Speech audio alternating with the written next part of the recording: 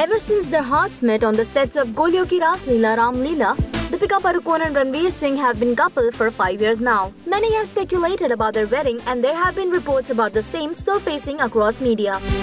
However, latest reports in a leading magazine suggest that the couple will be exchanging their wedding vows on November 10, 2018. According to the sources, the maximum time was taken to decide the date. Both Ranveer and Deepika want everything about their marriage to be perfect. November 10 suited their calendars as well as their parents. The roka was done long back and the wedding date was finalized just few weeks ago. Furthermore, the source added that the couple will have a destination wedding and that the preparations of the wedding are on full swing. Earlier, the family considered Udaipur for the destination wedding, however, it did not work.